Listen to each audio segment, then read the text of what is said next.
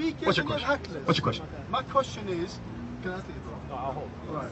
My question is this: I watched a few of your, videos where you speak to uh, Muslims and you ask questions to them. Yeah.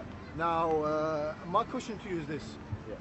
You believe you're- you're the truth, isn't it? Sure. You Sure. believe Christianity is the truth, yeah? Yeah. Just explain why. So I want you to tell me, yeah, give me your best evidence, your number one evidence why Christianity is the truth. You're correct. Quran. I answered your question. Did I not? Well, let me respond. Did I not? Well, let me respond to this one. No, no, no. Listen, you asked me a question, and I give you the response. You want to know what my best proof is? I gave you that. There's no Quran, response to that. Look, the Quran is the best evidence that Christianity is true. The Quran is not for you; it's against you. Okay.